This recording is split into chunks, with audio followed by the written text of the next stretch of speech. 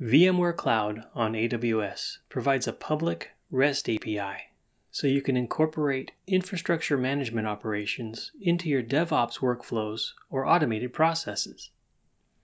The REST API is accessible through a wide range of clients and languages.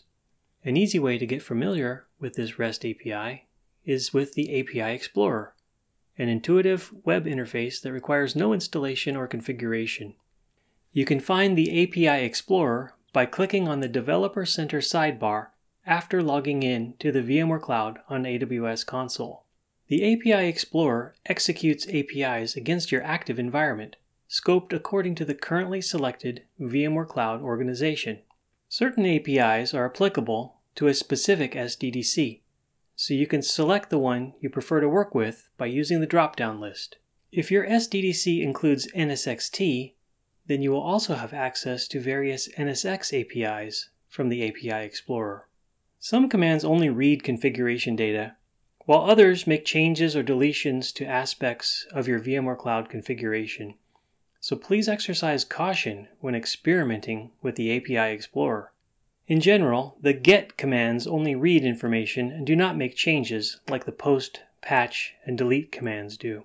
The API Explorer can be used as a model to understand the REST APIs that you intend to call from external systems. And it can also be used to execute commands that are not otherwise exposed in the standard user interface. For example, if you've linked multiple AWS accounts with your VMware organization and need to remove one, there's an API available under AWS Account Connection Operations. It's also easy to view a list of linked AWS accounts.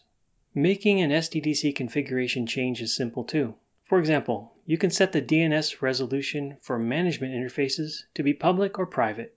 By default, API Explorer will warn you before executing a command that makes changes.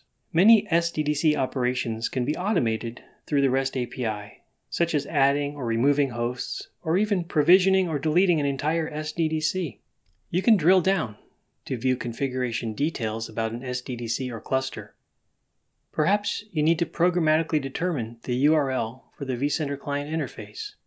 Finally, be aware that the entire VMware Cloud on AWS API specification is available for download in JSON format for further exploration and reference. This has been an overview of VMware Cloud API Explorer, an easy way to get started with the VMware Cloud REST API a powerful programming interface that enables you to incorporate infrastructure management operations into your DevOps workflows and other automation processes. Be sure to visit VMware Cloud Tech Zone for the latest VMware Cloud on AWS technical resources.